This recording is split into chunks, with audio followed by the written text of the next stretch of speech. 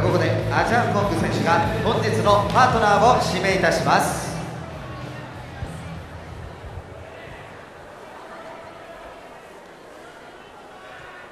京子出てこい京子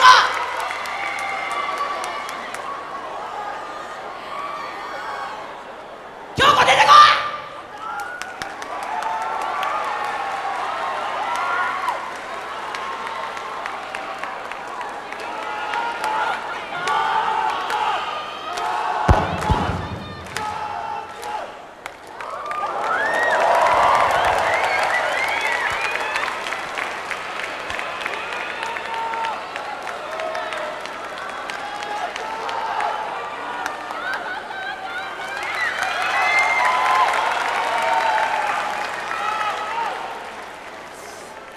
アジャコング選手は井上京子選手を指名いたしました。試合前に参加しまして無事健常様より両チームレフェリーに激励の花束が贈られます。斉藤さんはい。予想してました？うん、予想っていうか、あのアジアがなんとなく今日なんとなく入場の時からね一人で降りてっちゃったりね、え。アジアがまた一人ぼっちになっちゃったかなというような来てた気がしてたんだけどええ。なんとなく井上京子の出方から何からしてあなんとなくあプロレスってあいいなと思っちゃいましたね。ええよかったですね。まあバランスから考えたらやっぱり限られてくると思う思うんですよねのそうですね。パートナーとしても指名すると言ってもだからそうですよね。まあこれはベストな選択じゃないかなという気がします。またおそらくね今日あのさっき試合やったブル中野と北斗晶いますよね。はい。あの通常タッグを組むこともある2人ですよね、ええ。でまた戦ってもあれですし。えジャングルジャック今バイソンが今いないところもありますし。だんだん今ある今日北斗軍団っていうのが見え始めましたしね。えはい。だんだん今ある軍団っていうのかなグループっていうのがだんだん解体されていってまた一回全部それがなくなってそれからまた新しいグループができるなん。か前兆じゃないかなっていうような気がする。ああそうですね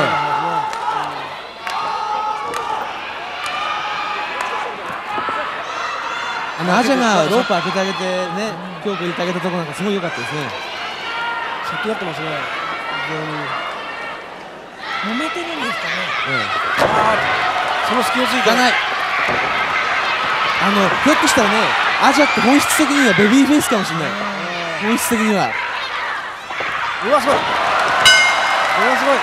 いビガロなんだと思うなこの人。なんか即席に組んで割にやり気あるんですね、ほらやっぱりアジャって本当はベビーなんだと思うわ。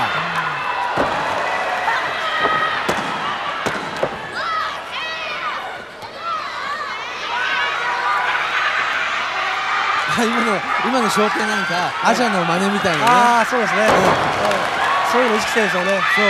あのフットボール式の2人のタックルかっこよかったですね。えこれがまたあのトヨタと山田っていうのがね絶対に自分のスタイル崩さない人間でしょ。もう絶対に誰と戦ってももう自分たちのスタイル絶対に変えない人たちでしょ。ああんなこんな頑固なレスラーあんまりいないでしょ。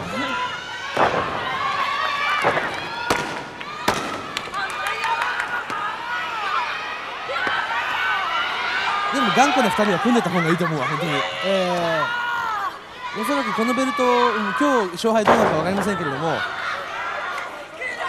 トヨタと山田がタッグを組むことにすごいこだわり持ってるでしょ、い。だからいろんな人がこうやってアジャアジャと井上みたくいろんな人がカールガール挑戦していくのも一つの面白い面白いですね。面白い路線かもしれない、や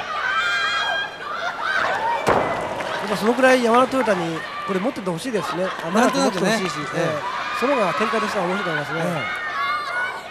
でも今日は絶対アジャを応援したい気分、そうでしょうね、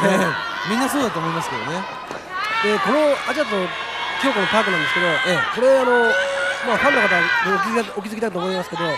感慨深いものがあるんですよね、非常に。というのはあの例のもともと一緒なんですよ、軍団が。同じ獄門島にいたわけですよね。それで、えーとアジャとバイソンがあの別れて、その時に要するに井上京子に対して、お前はどうするんだという、あこれだけでそう、ええその時有名なシーンがありましたルル様の方行っちゃったんだそうです、そうです。つまり、あれ以来の脱退というか、そういう感じですよね。あれは3年ぐらい前の夏ですか、えーまさに忘れられない、ええあのシーンがあってこの合体があると、えそういう面ではすごく感慨深いものがあると思うんでね。なるほど見てる方ももちろんやってる方も。だからおそらく本当にもうそろそろ今ある軍団がすべてね、ええ解解体されていく時期なんじゃないかと思うそうですね。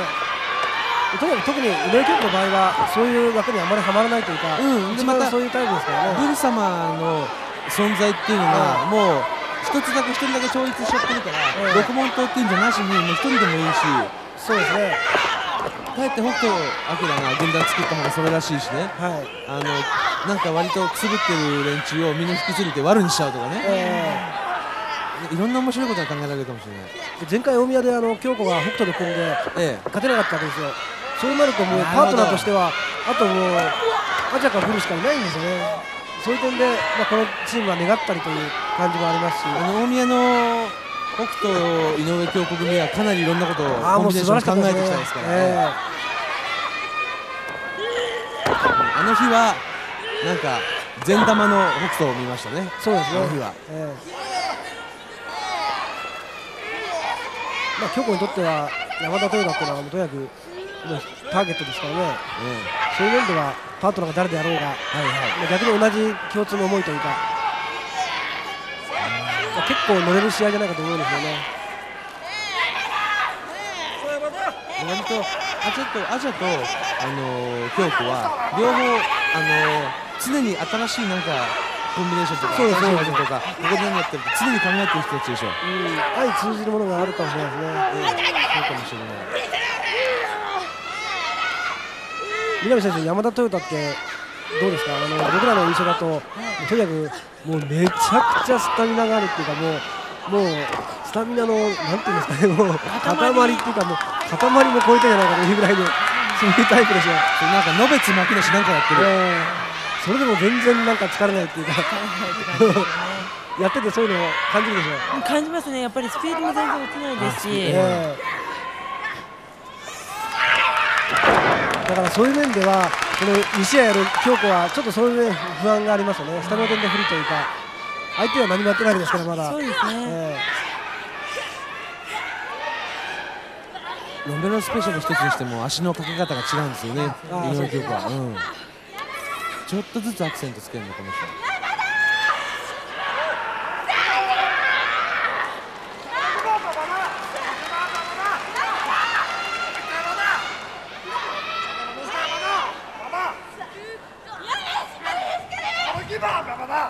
試合時間5分経過5分経過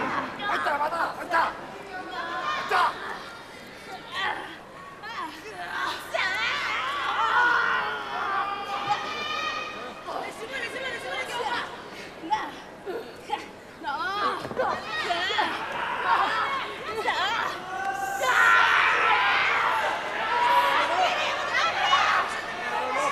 まあ、でも井上京子もスタミナでは、ね、かなり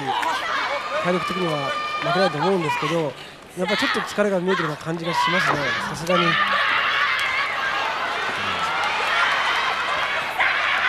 ステップやっぱりいろんなプロレスのね経験してる。危ね俺はすごいパワーファイトですね。えそう今なんか投げっぱなしのパワーボムでしょ。その前が川田選手の蹴り出しこれ今のは維新軍団でしょ？え張り手攻えあすごいですね、この連発は。こんな連発見たことないですね。